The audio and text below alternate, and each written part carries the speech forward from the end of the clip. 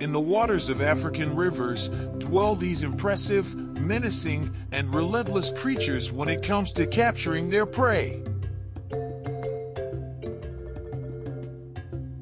We're talking about crocodiles. In their habitat, there is only one animal they don't dare to confront, the hippopotamus.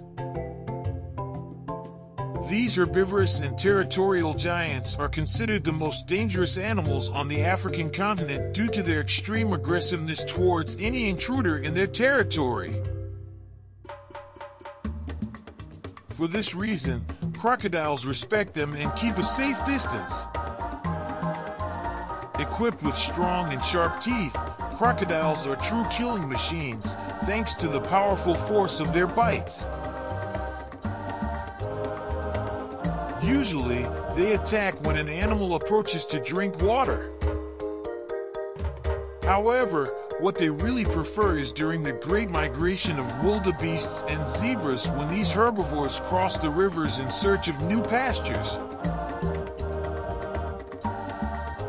In the water, these prey become easy targets for crocodiles, who simply choose which one to capture.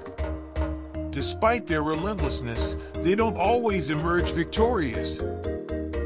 Sometimes, their prey are more agile, as we can see in this image. And when it comes to a 900 kilogram African buffalo, the task becomes even more challenging. This buffalo didn't see the crocodile that attacked it,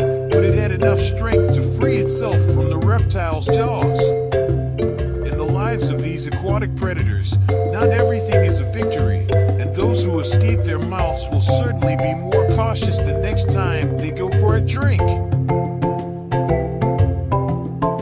And thus, we conclude today's video. Don't forget to watch the previous videos, just click here on the screen. Thank you very much, everyone, and see you in the next video.